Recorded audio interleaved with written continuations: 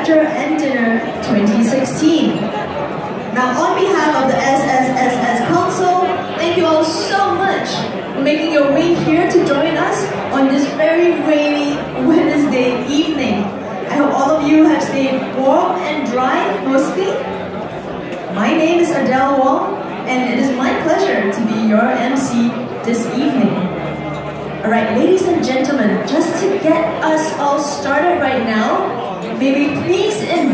the president of our SSSS, Mr. Anthony Tan, up on stage to give us his opening address. Anthony, please. And of course, we will be having our Structural Steel Excellence Awards 2016 award ceremony. So this year we had a total of 14 submissions and we have prepared a special video to showcase these submissions.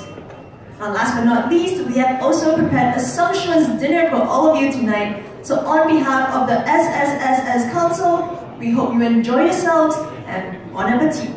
Thank you. Now we will move on to the Merit Award.